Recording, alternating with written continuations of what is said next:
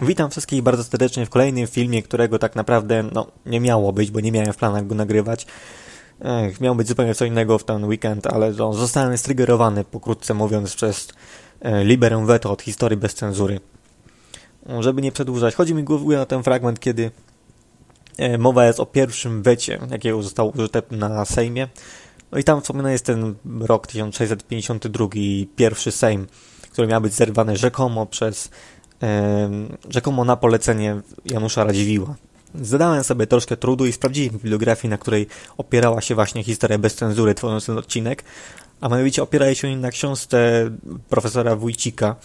No, książce to oczywiście w cudzysłowie, bo to nawet nie ma 100 stron, w której to napisane jest, że za Władysławem Ścińskim krył się potężny oligarcha litewski pod het... Jeszcze raz. Za, za Władysławem Ścińskim krył się potężny oligarcha litewski, hetman polny Wielkiego Księstwa i carosta Żmudzi Janusz Radziwił, który wypchnął skromnego szlachcica na arenę wielkich wydarzeń. Czym się kierował butny magnat, czyniąc ten ruch upickim pionkiem na szachownicy politycznej?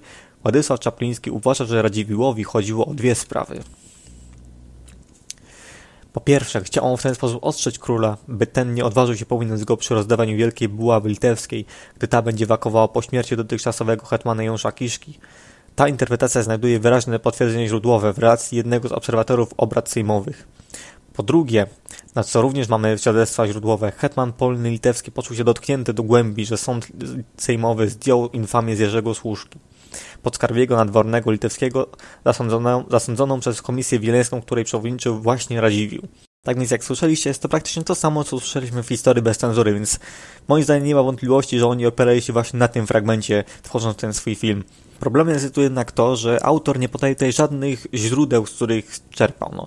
Chodzi mi tutaj głównie o to, że no, nie ma przepisów. Jak na przykład podaje się jakieś źródło, że są na przykład bogate źródła, podaje się tam przepis i na dole pisze się jest to, to, to, to, to i to, relacja tego i tego i tego, pamiętniki tego i tego. Tutaj natomiast tego zupełnie nie ma. Mam natomiast dość lakoniczne wspomnienie o Czaplińskim.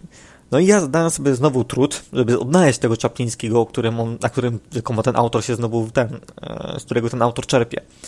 No i znalazłem tą książkę. Są to, są to dwa Sejmy roku 1652 e, Władysława właśnie Czaplińskiego. I tutaj już wątek tego weta i całego Sejmu jest, jest potraktowany naprawdę poważnie.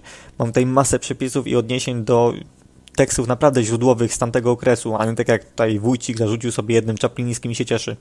Weźmy sobie ten oto fragment. Z kolei więc wypadnie nam się zastanowić, kto stał za Siecińskim w dniu 9 marca. Kubala, opierając się na wypowiedziach współczesnych, przypuszcza, że Sieciński działał jako narzędzie Janusza Radziwiła. Przypuszczenie to trzeba przyznać zgodne z głosami szeregu współczesnych źródeł, tak więc znany Kubali korespondent z Warszawy stwierdza. Domyślałem się, że to praktyka pana hetmana litewskiego, który in casu mortis hetmana wielkiego litewskiego wojewody polskiego pana Kiszki promowet fortunam suam do tej buławy u króla, która pewno spotka pana Sapiechę, podkrancerzego wielkiego księstwa litewskiego. Rezydent gdański, chociaż w pierwszej chwili nie wypowiada takich podejrzeń, już kilka miesięcy później, obserwując zachowanie, tej, zachowanie się frakcji radziwiłowskiej na następnym Sejmie, przyjmuje jako pewnik zerwanie pierwszego Sejmu przez Janusza Radziwiła. Podobnie przypuszczenie wypadają również bawiący wówczas w Polsce rezydent cesarski Giriadin w swojej depeszy pisanej tydzień po zerwaniu Sejmu.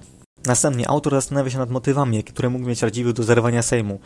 Pierwszy według niego, nie, sorry, według Kubali, którym właśnie też się jeszcze wzorował ten autor, Według Kubali najważniejszym powodem skłaniającym Radziwiła do poparcia Sieścińskiego była obawa, że aby w razie dojścia Sejmu do skutku nie sądzono go za udział w napaści na Działyńskiego. Tak w wielkim skrócie, to podczas trwania Sejmu e, doszło do jak to powiedzieć, do zwady, do sprzeczki na ulicach. O mianowicie Hajduk e, z gwardii prywatnej Radziwiła zaatakował jakiegoś tam e, Działyńskiego. No i miało, miał tu tego nabawiać go sam Janusz Radziwił, aczkolwiek no, sam autor tego to odrzuca, no bo powiedzmy sobie szczerze, no król nie chciałby iść na wojnę z tak potężnym magnatem, jakim wówczas był Janusz Radziwił. No nie chciałby. I tak miał dość problemów na głowie z Radziejowskim to jeszcze konflikt z drugim takim potężnym człowiekiem, no jeszcze bardziej by mu zaszkodził po prostu. Drugim powodem miała być chęć Radziwiła, pokazania jakim on jest potężny, jak on może wpływać na losy państwa i no, żeby go czasem nie pominął przy rozdawaniu buławy hetmańskiej Wielkiego Księstwa Litewskiego. No, wiel wielkohetmańskiego, tak może, bo on już był hetmanem. Należy tu jednak zaznaczyć, że hetman Wielki Litewski, Janusz Kiszka, jeszcze wówczas żył. I może nie miał się jakoś super dobrze, ale żył. A Janusz Radziwiłł nie miał żadnych nadludzkich mocy, żeby wiedzieć, że Kiszka wykituje akurat za rok. Janusz Kiszka miał się już źle od kilku, jeśli nie kilkunastu lat. On już w chwili, kiedy zostawał tym hetmanem, tak średnio już brał udział w wyprawach wojennych. Dlatego właśnie w wyprawie na Kijów w 1651 dowodził już tak naprawdę Radziwił, a nie Kiszka. Weźmy tutaj pod uwagę pewne prawidło, że to, że ktoś jest chory i cierpi i narzeka na to, to nie znaczy, że szybko umiera. No przeciwnie, są zdania takie babcie, które zawsze zrzędzą, że o, tu ją plecy bolą, o, tu nerki, o, tu tamto, tu siamto i dożywają 90 lat. Ponadto, jeśli Radziwiłł chciał pokazać swoją potęgę przed królem, to miał ku temu lepszą okazję dzień wcześniej. Dlaczego? Ponieważ dzień wcześniej o prolongatę prosił również kanclerz koronny, tak jak to było 9, ale to było e, na Radzie Senatu bodajże, że oni już byli w tej izbie wyższej. I gdyby tam walnął wetem Siciński, to by to słyszeli też wszyscy senatorowie. A tak to słyszeli to tylko posłowie i no, słyszeli to też jest dobre słowo, ponieważ oni nawet o tym nie wiedzieli. Po prostu to sobie powiedział i wyszedł, a obradek trwały nadal. Dopiero gdzieś tam wieczorem, kiedy liczono, podliczono bodajże wota, to wyszło, że nie ma z tego no, posła upity. Wówczas to Fredron nie chciał jeszcze zakończyć Sejmu i powiedział, że poczekają do poniedziałku, bo to było w piątek. Czekaj, nie, wróć, wróć, to nie było w piątek, to było w sobotę. To było w sobotę i miano poczekać właśnie do poniedziałku na to, żeby no, Ciciński wrócił i odwołał, swoją, odwołał swój sprzeciw. W poniedziałek natomiast marszałek Sejmu Fredro dwa razy wywoływał posła z upity, bezskutecznie. I wtedy właśnie miały paść te słynne słowa, a bodaj by przepadł. No to wszyscy odpowiedzieli chórem Amen. Jednakże wtedy właśnie mało kto wiedział, że Siciński znajdował się wówczas na sali sejmowej, jednakże po prostu siedział cicho. Taka ciekawostka. Ostatnim powodem, dla którego Radziwiłł miałby zerwać ten Sejm, jest, jak pisze tutaj Czapliński, Mianowicie hetman polny litewski przewodniczył Komisji Wileńskiej, która skazała służkę na, za poranienie Abrahamowicza. Wyrok sądu sejmowego znoszący infamię rzuconą przez komisję na służkę odczuł według sekretarza Gdańskiego Radziwiłł jako osobistą obrazę, naruszenie swych prerogatyw i w związku z tym zachęcił oraz ośmielił Sicińskiego do zrywania Sejmu. No i to jest powód, z którym jest bardzo trudno polemizować, ponieważ dla każdego historyka powód ten może jawić się zupełnie inaczej. Dla jednego będzie to główny powód, że Radziwiłł się pewnie wkurwił, że dlatego pewnie ten Sejm zerwał i tak dalej. A z drugiej strony dla innego historyka może to być po prostu, no no, Radziwiłł pewnie trochę się tam podenerwował, ale puścił to mimo uszu i no trudno, życie toczy się dalej. I tego argumentu już nie jestem w stanie obalić, no bo jak? No musiałbym się spytać Radziwiłła, czy go to zabolało, czy nie, a na tego już nie jestem w stanie zrobić niestety. Warto tutaj jednak nadmienić pewną rzecz, a mianowicie E, Kubala w szkicach historycznych strona 295 twierdzi, że poszukiwania przeprowadzone w korespondencji Radziwiłowskiej w archiwum wilanowskim nie dały jednak żadnego rezultatu pozwalającego stwierdzić, że Siciński rzeczywiście pozostał na służbie Radziwiła. Czyli mówiąc krótko, nie ma dowodów na to, że Siciński pracował dla Radziwiła. Do tego jeszcze należy dołożyć to, że w 1633 uchwalono konstytucję, która zakazywała prolongatyw. Więc można powiedzieć, że Siciński tak naprawdę, wetując e, tę e, prośbę o prolongatę, działał zgodnie z prawem po prostu, bronił prawa tego ustroju Rzeczpospolitej, który został wprowadzony. Tak więc miał jakby podłoże prawne ten jego protest. No, aczkolwiek no, dziwne jest trochę to, że protestował dopiero przy drugiej prolongacie, a nie już przy pierwszej. Co może dawać trochę do myślenia. Ponadto jeszcze Siciński, oprócz takich y, powodów moralno-prawnych, że się przedłuża Sejm i działa y, no, przeciw prawom Rzeczpospolitej, to dodatkowo miał on swoją po prostu i Sejmik, którego wysłał, nakazywał mu, żeby nie zgodził się na poddymne w jego, e, ten, w jego powiecie, bodajże to o powiat chyba chodziło, ponieważ tam była taka sytuacja, że tam mieszkała ogólnie biedna szlachta, która miała, była skupiona po prostu, każdy miał swój domek naprzeciwko sąsiada, nie?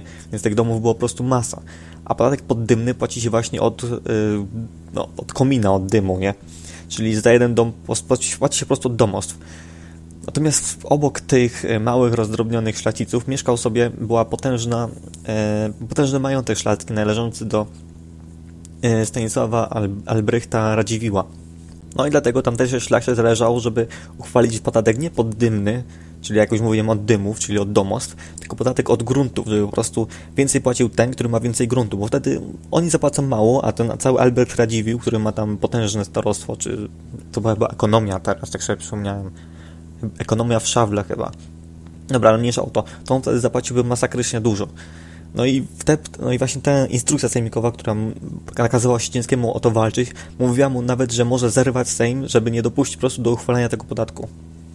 Zapomina się wręcz o ważnej rzeczy, a mianowicie o tym, że prócz Radziwiłła wiele osób miało interes w tym, aby e, zerwać Sejm. Chociażby wspominany tutaj przeze mnie chyba już Radziejowski. Sprawa jego infamii i banicji wielokrotnie była podejmowana na Sejmie i nieraz nie dwa w ogóle zapychała całe obrady. Radziejowski nie wycofnął się nawet przed tym, żeby posłać własne dzieci na ten na Sejm, żeby w jego imieniu prosiły o zdjęcie właśnie tej banicji i infamii a te dzieci miały po 7 i bodajże 9 lat, więc no, wiecie, brał po prostu posłów na litość.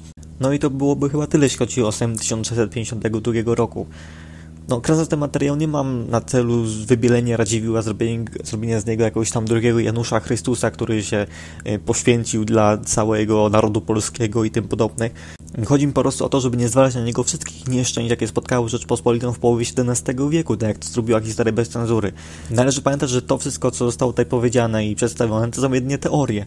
Moje teorie, teorie tych historyków, których tam, których cytowałem, to są teorie, mogą być naprawdę dalekie od prawdy i w żadnym wypadku nie należy ich brać jako jakiejś prawdy objawionej. No i tym apelem chciałbym się z Wami pożegnać. Do usłyszenia. Narka.